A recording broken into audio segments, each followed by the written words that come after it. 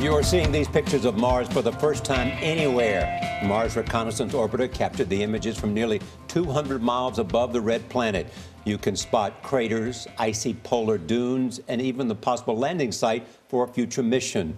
NASA has big plans for Martian exploration. The next major project is Mars 2020. CBS This Morning is the first broadcast to go inside the assembly room of the Mars 2020 mission. Jan Crawford is at the Jet Propulsion Lab in Pasadena, California.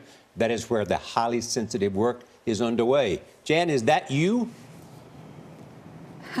yes, it is, Charlie. And in fact, everyone that goes in this room has to be suited up because they can't risk any contamination to this spacecraft. It's going to Mars in four years with an unmanned rover that's going to explore the surface. And this is all part of NASA's plan to send humans to Mars in the next 20 to 30 years. How does it go? This way? This is what you have to do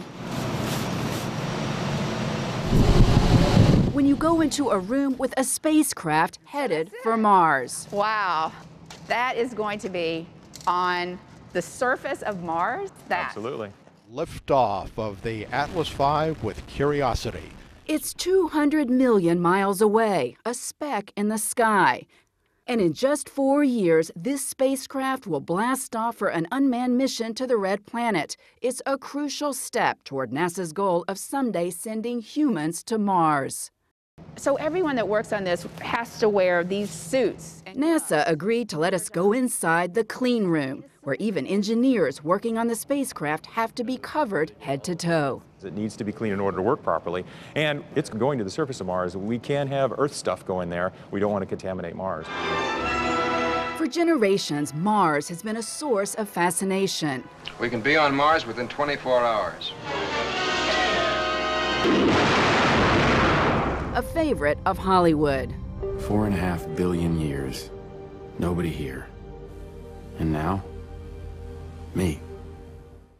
But here at the Jet Propulsion Laboratory, it's no longer science fiction, but cutting edge science. This piece of metal will be a sophisticated landing system for Mars 2020. What all gets put on this? Yes, well, the most important part that gets put on this is our propulsion system. So those are the rockets. The propulsion system. Exactly, the yeah, rockets. that's pretty important. This animation shows how it will slow down the spacecraft and gently drop an SUV-sized rover onto the surface of the planet. We are decelerating. NASA used the same technique in 2012 to land the Curiosity rover. Descending, we are at 150 meters per second.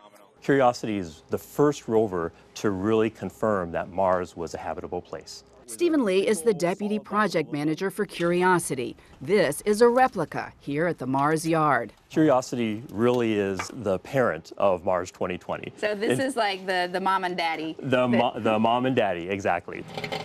The next generation rover will be loaded with a lot more technology like higher resolution cameras and an advanced robotic arm and drill. This is the rock room. Which Deputy Mission Manager Jeff Srinivasan says will help search for signs of Martian life. We're actually going to drill cores and make small samples of Martian rock that we will put in tubes, seal, and leave on the Martian surface.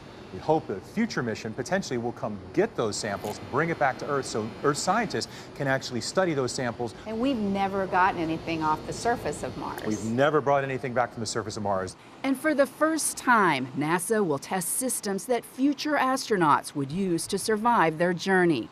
In this room, what you're doing could determine whether or not humans make it to Mars in the near future. Using this technology, that's absolutely true. And and That's a lot of pressure. It is.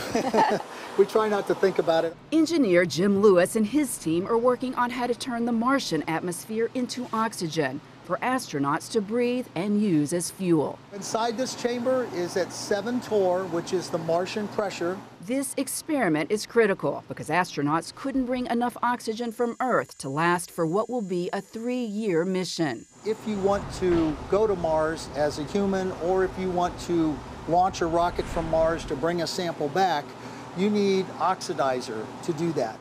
All making this upcoming mission a giant leap for human travel into deep space.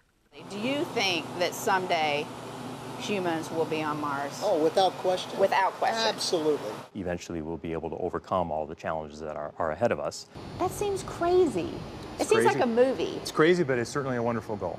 A goal generations in the making, now closer than ever. Do you ever think like that is 200 million miles away? It sometimes is just amazing to imagine that we've built such a large system, so much complexity that's so capable, and we send it on a rocket.